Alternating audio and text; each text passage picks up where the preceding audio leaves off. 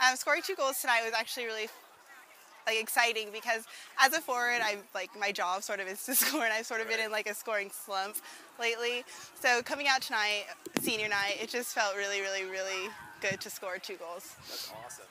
And um, so, can you talk about how important the win was for tonight and how that plays into you know kind of the end of the season, the end of the last game on Sunday? Yeah, we've been sort of like we haven't won in a long time, so winning tonight was really exciting because it was senior night. It was a big night for all of us. It was really emotional. We sort of like before the game, we were just put it all on the field, play for each other, just have fun. And I think that we did that. And I think winning tonight five to zero was just icing on top of the Yeah, cake. that's just that's awesome.